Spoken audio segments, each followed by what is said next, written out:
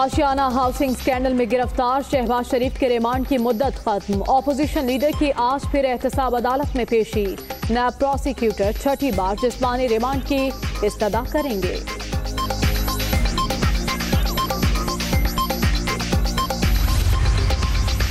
NAB cases میں نواز شریف کی ایک اور پیشی۔ فلیکشپ ریفرنس میں آج مزید چار سوالات کے جوابات جمع کرائیں گے۔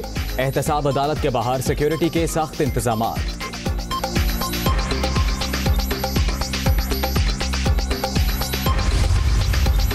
خواجہ آصف پر کرپشن الزامات۔ نیب نے عثمان ڈار سے لی کی رہنما کی غیر ملکی سرمایہ کاری کا ثبوت مانگ لیا۔ ریکارڈ سمیت آج طلبی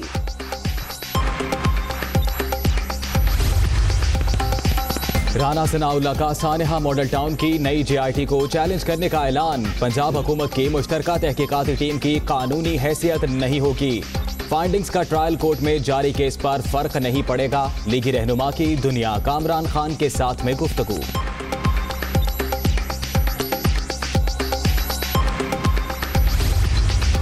گلگت بلتستان کا سٹیٹس کیا ہوگا؟ صوبہ بنانے اور اصلاحات کا پیکج آج وفاقی کابینہ کے اجلاس میں پیش کیا جائے گا۔ بیس نکاتی ایجنڈے پر مشاورت بھی ہوگی۔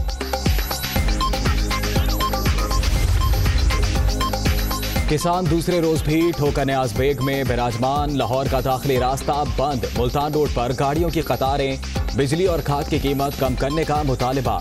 پنجاب حکومت نے اجلاس بلا لیا۔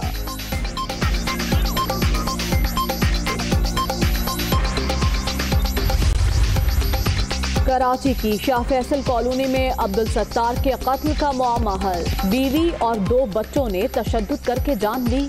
تینوں کا گرفتاری کے بعد اعتراف جرم، خاون مار پیٹ کرتا تھا۔ ملزمہ کا بیان۔ ٹوٹی پھوٹی دیواریں جگہ جگہ گندگی کے ڈھیر۔ کراچی کے آزم ٹاؤن میں پچاس بستروں کا اسپتال اور قدیم اربن ہیلتھ سینٹر کچرا کنڈی بن گیا۔ عمارت جرائم پیشہ ناصر کی اماج کا کتوں کا مٹر کشت کیوں اس کو سیاست کی نظر کیا گیا؟ جب ایک بلڈنگ کمپلیٹ اس کے اندر صرف آخری رنگ روغن رہ گیا تھا اس ہاسپٹل کے اندر۔ اور ایک بہت بڑا ہاسپٹل ایک بہت بڑا کارنامہ تھا۔ یہ اب انہی سے سوال کیا جائے کہ آخر یہ کیا وجہ تھی؟ کس بنا پہ انہوں نے یہ کمپلیٹ نہیں کیا؟ پشاور کے خیبر ٹیچنگ اسپتال میں تبدیلی نظر آ گئی۔ سیکیورٹی گارڈ مریضوں کا چیک اپ کرنے لگا۔ تصویر میڈیا پر آنے کے بعد ڈی ایم ایس سمیت عملے کے چھ اراکین وہ محافظ کی نوکری ختم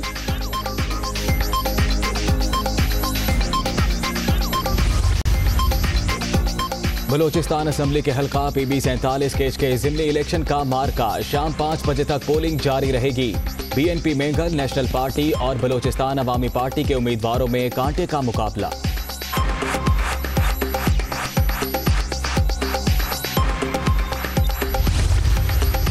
راولپنڈی میں نالالئی کے اطراف آباد افراد کو پرانا مسئلہ حل ہونے کی امید۔ ایکسپریس وے پروجیکٹ دس سال بعد بحال۔ شیخ رشید اپنے دور میں منصوبے کی تکمیل کے لیے پرعزم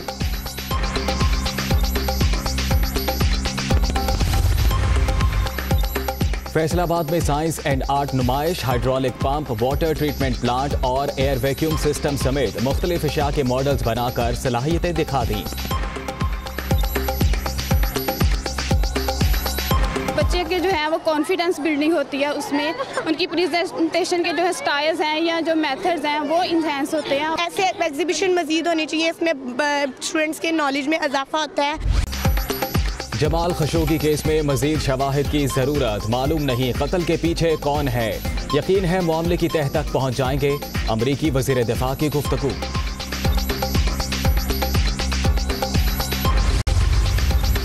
جارج بش سینئر کی میت، سرکاری رسومات کی ادائیگی کے بعد واشنگٹن سے ٹیکسس منتقل۔ امریکہ کے اکتالیسویں صدر کی تدفین آج ہوگی۔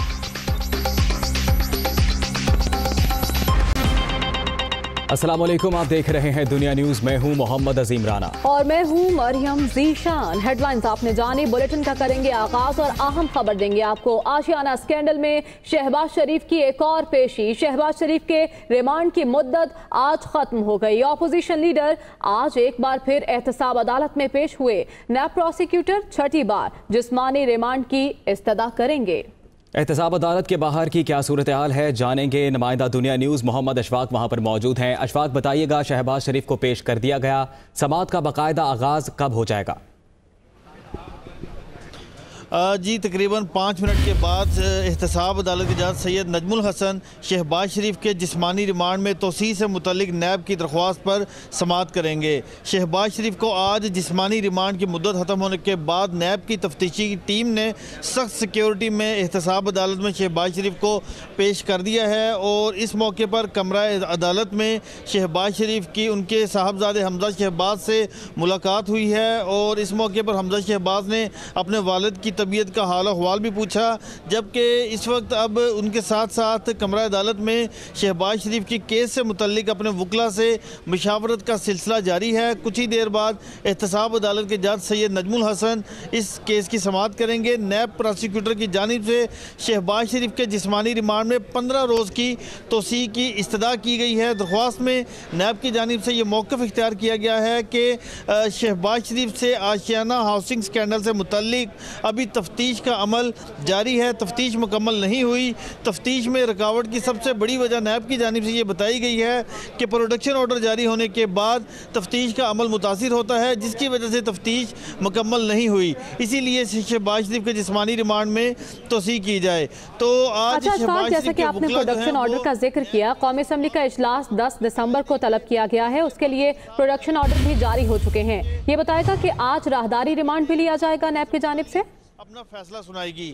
جبکہ اشفاق کمرہ سے عدالت بھی کے رابطہ بحال کرنے کی کوشش کرتے ہیں اپنے ناظرین کو بتائیں کہ شہباز شریف کو احتساب عدالت میں پیش کر دیا گیا ہے اور نیب کی جانب سے آج مزید جسمانی ریمانڈ کی استدا کی جائے گی۔ مریم اورنگزیب کا کہنا ہے دو سال سے پیشیوں پر پیشیاں بھگت رہے ہیں۔ اب تک معلوم نہیں ہو سکا شہباز شریف نے کیا کیا ہے۔ انہوں نے کہا کہ شہباز شریف کینسر کے مریض ہیں۔ ان کا چیک اپ ضروری ہے۔ درجنوں پیشیاں بھگتنے کے باوجود ایک روپے کی کرپشن شہباز شریف صاحب کے خلاف ثابت نہیں ہو سکی۔ قصور کیا ہے شہباز شریف صاحب کا یہ آج تک پتہ نہیں چل سکا۔ اور یہ جو حربہ استعمال کیا جا رہا ہے لیکن میں یہ بھی ساتھ ساتھ کہنا چاہتی ہوں کہ دو ہفتے پہلے ڈاکٹرز نے میڈیکل بورڈ کانسٹیٹیوٹ کرنے کو کہا تھا جس میں تاخیر ہوئی۔ شہباز شریف صاحب کے بلڈ ٹیسٹ ٹھیک نہیں ہوئے تھے۔ کیوں تاخیر کی گئی؟ کیوں؟ اور ہم نے یہ بھی کہا تھا کہ ایک کمیٹی بنائی جائے، جو باقی قیدی، جو حراست کے نام کے اوپر نیب کے عقوبت خانوں میں رکھے جا رہے ہیں، ان کا چیک اپ ہو اور پتہ چلایا جائے کہ وہ کون سی بیماریوں میں مبتلا ہیں۔ آگے بڑھتے ہوئے اہم کیس کی بات کرتے ہیں۔ پاکستانیوں کے بیرون ملک اکاؤنٹ سے متعلق آج کیس کی سماعت ہوئی۔ اس موقع پر چیف جسٹس نے ریمارکس دیتے ہوئے کہا کہ ہم نے اس معاملے پر مشترکہ تحقیقاتی ٹیم بنائی تھی۔ شو کاز کر دیتے ہیں۔ تین دن میں جواب دیں۔ چیف جسٹس نے ممبر ایف بی آر سے مکالمہ کیا۔ اس کے علاوہ سپریم کورٹ نے علیمہ خان کی جائیداد کی مکمل تفصیلات طلب کر لیں۔ چیف جسٹس کا ممبر ایف بی آر سے کیا مکالمہ ہوا؟ تفصیلات جانتے ہیں فیصل کمال سے۔ فیصل بتائیے گا۔ اچھا یہ معاملہ جو ہے، اس میں چیف جسٹس صاحب نے بہت برہمی کا اظہار کیا ہے۔ ایف بی آر کے اوپر کہ انہوں نے ڈیلے کیوں کیا اس معاملے کی ساری تحقیقات کے اوپر؟ انہوں نے رپورٹ مانگ رکھی تھی اس معاملے میں۔ جو ایف بی آر پیش نہیں کر سکا، انہوں نے کہا کہ ہم ایک روٹین پروسیجر کے تھرو اس معاملے کی تحقیقات چاہ رہے ہیں۔ جس پر چیف جسٹس صاحب نے کہا کہ ہم نے اس پر ایک مشترکہ تحقیقاتی ٹیم تشکیل دی تھی۔ جس کا مقصد یہ تھا کہ معاملے کو فاسٹ فارورڈ چلایا جائے اور یہ ساری تحقیقات وہ تین ہزار ارب کی پراپرٹیز ہیں پاکستانیوں کی، آپ نے اس کو روٹین میٹر بنا دیا ہے۔ علیمہ خان جو وزیر اعظم عمران خان کی بہن ہیں ان کی جائیداد کی تفصیلات اور ان کے خلاف جو کارروائی ہوئی ہے یا ہونی ہے، اس کی تفصیلات بھی عدالت میں پیش نہیں کی جا سکی جس پر چیف جسٹس صاحب نے بہت برہمی کا اظہار کیا۔ اور بدھ تک کی بدھ تک کا ٹائم دیا ہے ایف بی آر کو اس معاملے میں رپورٹ جمع کرانے کے لیے۔ اس میں جو member inland revenue Habib Ullah Khan تھے ان پر برہمی کا اظہار بھی کیا اور کہا کہ کیوں نہ آپ کو معطل کر دیا جائے۔ اور آپ کے خلاف کارروائی کی جائے۔ شو کاز بھی جاری کرنے کی بات کی گئی انہیں۔ اب اس معاملے کی جو سماعت ہے وہ بدھ تک کے لیے ملتوی ہو گئی ہے۔ پاکستانیوں کے بیرون ملک اکاؤنٹ سے متعلق کیس کی سماعت کی تفصیلات بتا رہے تھے فیصل کمال پاشا۔ بہت شکریہ آپ کا۔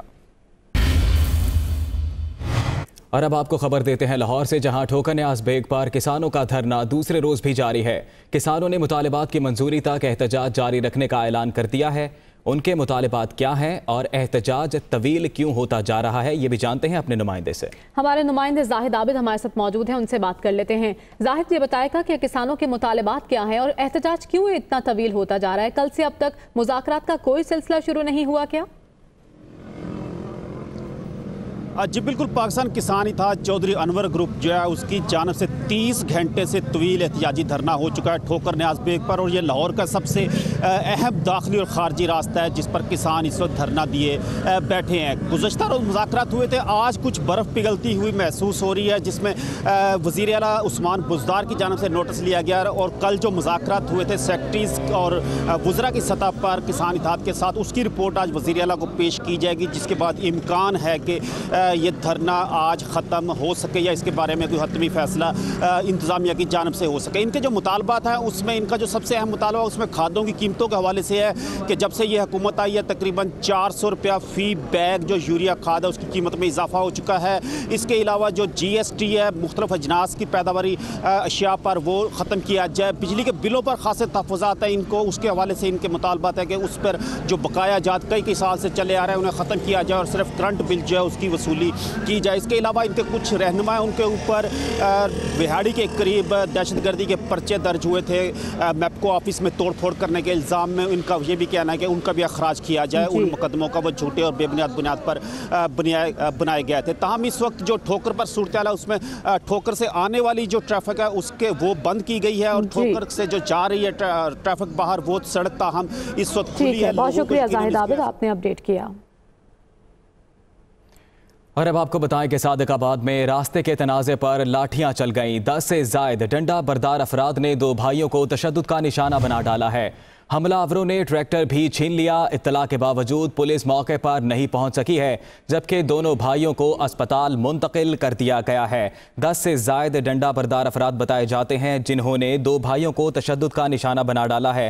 وجہ یہ بنی ہے کہ راستے کا یہ تنازع تھا، جس پر لاٹھیاں چل گئیں اور یہ کچھ دیر قبل کے مناظر آپ دیکھ سکتے ہیں۔ دنیا نیوز کی ٹی وی اسکرین پر حملہ آوروں نے ٹریکٹر بھی چھین لیا ہے۔ اطلاع کے باوجود پولیس ابھی تک موقع پر نہیں پہنچ سکی ہے، جبکہ دونوں بھائیوں کو اسپتال منتقل کر دیا گیا ہے جہاں پر ان کو طبی امداد دی جا رہی ہے۔ رخ کرتے ہیں اوکاڑا کا، جہاں ہارنیاں والا میں ڈاکوؤں اور دیہاتیوں میں فائرنگ کا تبادلہ ہوا۔ فائرنگ کے نتیجے میں ایک ڈاکو ہلاک، جبکہ ایک دیہاتی بھی جان بحق ہو گیا۔ پولیس کی بھاری نفری موقع پر پہنچ گئی ہے۔ ہلاک ڈاکو اور دیہاتی کی لاشیں پوسٹ مارٹم کے لیے ڈسٹرکٹ اسپتال منتقل کر دی گئی ہیں۔ مناظر آپ دنیا نیوز کی اسکرین پر دیکھ سکتے ہیں۔ اوکاڑا کا علاقہ ہارنیا والا ہے، جہاں پر ڈاکو اور دیہاتی آمنے سامنے آ گئے۔ اس موقع پر فائرنگ کا تبادلہ بھی ہوا۔ فائرنگ کی زد میں آ کر ایک ڈاکو ہلاک، جبکہ ایک دیہاتی بھی زندگی کی بازی ہار گیا۔ اس موقع پر اوکاڑا پولیس کی بھاری نفری پہنچ چکی ہے۔ ہلاک ڈاکو اور دیہاتی کی لاش پوسٹ مارٹم کے لیے ڈسٹرکٹ اسپتال منتقل کر دی گئی ہے۔ سندھ حکومت کی غفلت کے سبب کراچی کے علاقے آزم ٹاؤن میں قائم پچاس بستروں کا اسپتال اور قدیم اربن ہیلتھ سینٹر کھنڈر میں تبدیل ہو گیا ہے۔ اسپتال کی تین منزلہ عمارت حکومتی توجہ کی منتظر ہے۔ اسی پر رپورٹ کر رہے ہیں حامد الرحمان مٹی دیواریں جا بجا کچرے کے ڈھیر۔ ایک لمحے کو آپ اسے کچرا کنڈی ہی سمجھیں گے۔ لیکن یہ قدیم اربن ہیلتھ سینٹر اور پچاس بستروں پر مشتمل تین منزلہ اسپتال کی عمارت ہے، جس پر اب کتوں کا راج اور جرائم پیشہ عناصر کا قبضہ ہے۔ جمشید ٹاؤن کی یوسی آزم ٹاؤن کا اربن ہیلتھ سینٹر اور دس سال قبل بننے والی تین منزلہ عمارت حکومتی عدم توجہی کے سبب کھنڈر میں تبدیل ہو چکے ہیں۔ کیوں اس کو سیاست کی نظر کیا گیا؟ جب ایک بلڈنگ بلڈنگ کمپلیٹ اس کے اندر صرف آخری رنگ روغن رہ گیا تھا اس ہسپیٹل کے اندر اور ایک بہت بڑا ہسپیٹل ایک بہت بڑا کارنامہ تھا۔ یہ انہی سے سوال کیا جائے کہ آخر یہ کیا وجہ تھی؟ کس بنا پہ انہوں نے یہ کمپلیٹ نہیں کیا؟ صورتحال خراب ہے لیکن دعوے ختم ہونے کا نام نہیں لے رہے۔ مشیر اطلاعات سندھ اب بھی مصر ہیں کہ پیپلز پارٹی سرکار N I C V D کی طرح دوسرے سرکاری اسپتالوں پر بھی توجہ دے رہی ہے۔ سندھ کے اندر سندھ حکومت آگے بڑھ رہی ہے۔ آپ لوگوں کی سپورٹ چاہیے، آپ کے کیمرے کی مثبت انرجی ہم کو چاہیے تاکہ ہم پاکستان کی عوام کو دکھا سکیں کہ سندھ گورنمنٹ نے اپنے محدود وسائل کو بروئے کار لاتے ہوئے کس طریقے سے مثالی قائم کام کیا ہے ہم نے؟ نو کروڑ روپے کی لاگت سے قائم ہونے والے اسپتال سے آزم بستی محمود آباد اختر کالونی کالا پل منظور کالونی سمیت اطراف کی آبادیوں کے لاکھوں افراد مستفید ہوتے لیکن حکمرانوں کی بےحسی نے شہریوں سے یہ سکھ بھی چھین لیا۔ پیپلز پارٹی کا دعویٰ ہے کہ ان کی حکومت نے صحت کے شعبے میں انقلاب برپا کیا ہے لیکن آزم ٹاؤن میں موجود یہ اسپتال سندھ حکومت کی کارکردگی کا منہ بولتا ثبوت ہے۔ کیمرہ مین عمران یامین کے ساتھ حامد الرحمان دنیا نیوز کراچی۔ کہیں ہسپتال کھنڈر تو کہیں پارکس بنجر۔ فیصل آباد میں شہریوں کی سیر و تفریح کے لیے بنائے پارکس۔ حکام کی غفلت اور لاپرواہی کے باعث کچرا کنڈی میں تبدیل ہو چکے ہیں۔ اسلام نگر میں واقع مدینہ پارک میں گھاس ہے اور نہ ہی جھولے۔ اسی بارے میں یہ رپورٹ دیکھیے۔ کے علاقہ شاداب کالونی میں اہل علاقہ کی سیر و تفریح کے لیے بنایا گیا مدینہ پارک انظامی غفلت کی نظر ہو گیا۔ بہتر نگہداشت نہ ہونے کی وجہ سے نہ صرف پارک میں کوڑے کچرے کے ڈھیر لگے دکھائی دیتے ہیں بلکہ پارک کی چار دیواری بھی ٹوٹ پھوٹ کا شکار بن چکی ہے۔ کوڑے دے ڈھیر تو سویرے کے جگہ جگہ لگے ہوئے ہیں۔ یہ تو بچے بیمار ہو رہے ہیں نہ کھیلنے واسطے بچے نو جگہ نہ عورتوں نو سیر کرنے واسطے جگہ۔ پارک کافی دیر سے اجڑا ہوا ہے اس کو بڑھنا چاہیے تاکہ وہاں یہاں کی عورتیں اور مرد اور بچے سب اس سے مستفیض حاصل کریں۔ اہل علاقہ کہتے ہیں کہ پارک کی تباہ حالی سے متعلق متعدد بار پی ایچ اے حکام کو شکایات کا اندراج تو کروایا گیا مگر داد رسی نہ ہوئی۔ میں نے ان کو بغیر ریٹرن درخواست بھی دی ہے اور ان کو اپلیکیشن وغیرہ دی ہے۔ ان کے ساتھ میں دس پندرہ دفعہ ان سے ملا بھی ہوں جا کے۔ ہر دفعہ یہی کہتے ہیں ہو جائے گا ہو جائے گا۔ ایک دفعہ گاڑی آئی ہے دو چار کوڑے کی ٹرالیاں اٹھائیں چلے گئے اس کے بعد کچھ بھی نہیں ایسی ہے اہل علاقہ نے مطالبہ کیا ہے کہ پی ایچ اے حکام پارک میں سرسبز گھاس اور پودے لگانے کے لیے ریت کے محل قائم کرنے کی بجائے حقیقی معنوں میں اقدامات اٹھائیں۔ علاقہ مکینوں کی سیر و تفریح کے لیے بنایا گیا مدینہ پارک محکمہ پی ایچ اے کی غفلت کی بھینڑ چڑھ گیا جبکہ پارک میں کوڑے کچرے اور گندگی کے لگے ہوئے ڈھیر علاقہ مکینوں کو بیماریوں کا بھی شکار بنانے لگے ہیں۔ کیمرامین احمد علی کے ساتھ عبد الباسد دنیا نیوز، فیصل آباد۔ فیصل آباد کے بعد رخ کرتے ہیں کوئٹہ کا، جہاں صوبے بھر کے تعلیمی اداروں میں منشیات کا استعمال عام ہونے لگا ہے، جو مستقبل کے لیے خطرے کی گھنٹی سے کم نہیں ہے۔ والدین اور اساتذہ کی کڑی نگرانی کی ضرورت اور شدت بھی محسوس کی جانے لگی ہے۔ مزید تفصیلات اس رپورٹ میں دیکھیے۔ پاکستان کا مستقبل نوجوانوں سے وابستہ ہے، جو تعلیمی اداروں میں زیر تعلیم ہیں، لیکن بدقسمتی سے کچھ عناصر ان کے مستقبل کو اندھیروں میں تبدیل کرنے کے درپے ہیں۔ طلبہ اور طالبہ سگریٹ نوشی کے بعد رفتہ رفتہ نشہ آور انجیکشن، کرسٹل، شیشہ، چرس ممنوع مشروبات اور دیگر منشیات فیشن کے طور پر استعمال کرنے کے عادی بن رہے ہیں۔ پڑھے لکھے بچے، اچھے گھرانوں کے بچے جو ہیں، وہ منشیات کی طرف جا رہے ہیں۔ اور ان کو کون پرووائڈ کر رہا ہے؟ کون ہے اس کے پیچھے؟ یقیناً اس کا سدباب ضروری ہے ہمارے پاس اتنی اویئرنیس نہیں ہے۔ اور یہاں پر بلوچستان میں اگر آپ دیکھا جائے تو میرے خیال سے میجورٹی بچے جو ہیں وہ سگریٹس بھی بڑے مزے سے پیتے ہیں اور اور بھی بہت سارے نشے ہیں جو بہت وہ کھل کے کرتے ہیں۔ کوئٹہ میں تعلیمی اداروں کے قریبی علاقوں میں منشیات فروشی عام ہے۔ دوسری جانب منشیات کی روک تھام کی ذمہ داری قانون نافذ کرنے والے اداروں کی ہے۔ اینٹی نارکو ٹیکس فورس نے مؤثر کارروائی کرتے ہوئے کالجز اور یونیورسٹیز میں منشیات کا مکرو کاروبار کرنے والوں کو گرفتار بھی کیا ہے۔ ہم نے اس سال تقریباً تھرٹی ایٹ کے قریب انڈیویژ کو ہم نے گرفتار کیے، جو جو ہے ان انسٹیٹیوشن کے دائیں میں جو یہ کوشش کر رہے تھے بیچنے کی۔ تو اور مزید بھی ہے، کوشش کر جاری ہے انشاءاللہ۔ معاشرے کا حساس طبقہ اس بات پہ متفق ہے، پاکستان کے روشن اور محفوظ مستقبل کے لیے منشیات جیسی موزی لانت کی روک تھام اور نئی نسل کو بچانے کے لیے ہر قدم پر والدین اور اساتذہ بھرپور نگرانی کریں۔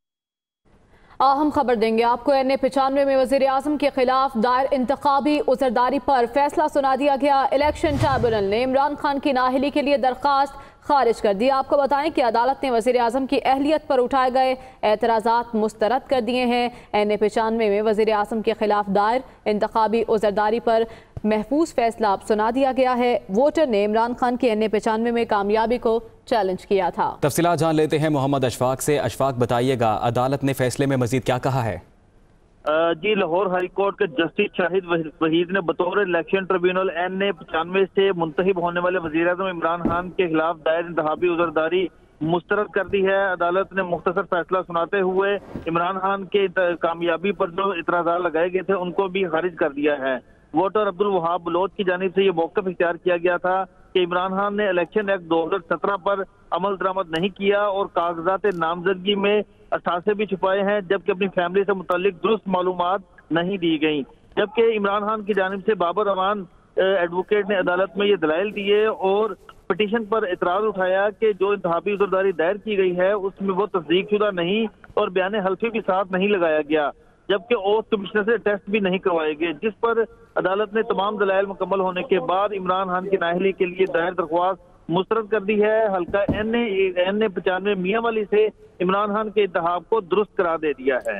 الیکشن ٹریبیونل نے عمران خان کی نااہلی کے لیے درخواست خارج کر دی ہے۔ بہت شکریہ، آپ کا محمد اشفاق تفصیلات سے آگاہ کر رہے تھے۔ اور اب آپ کو خبر دیتے ہیں، پشاور سے پولیس کی جانب سے بڑی کارروائی کی گئی۔ کالعدم تنظیم کے لیٹر ہیڈز اور بھارتی ویزے برآمد ہوئے ہیں۔ یہ کہنا ہے ذرائع کا پولیس نے خفیہ اطلاع پر پرنٹنگ پریس پر چھاپا مارا۔ واقعے کی تفتیش جاری ہے۔ تاحال کوئی گرفتاری نہیں ہوئی۔ ایسا کہنا ہے پولیس ذرائع کا پشاور کا علاقہ جہاں پر پولیس کی جانب سے بڑی کارروائی کی گئی۔ کارروائی کے دوران کالعدم تنظیم کے لیٹر ہیڈز اور بھارتی ویزے بھی برآمد ہوئے ہیں۔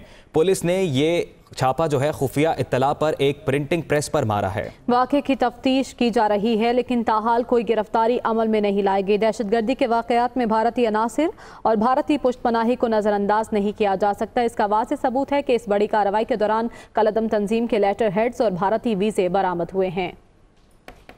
یہ بتائیے گا کہ جو کچھ دیر قبل کے مناظر ہم دیکھ رہے ہیں ٹی وی سکرین پر، کارکنان کی کافی تعداد نظر آتی ہے۔ کیا مرکزی قیادت بھی یہاں پر موجود ہے نون لیگ کی؟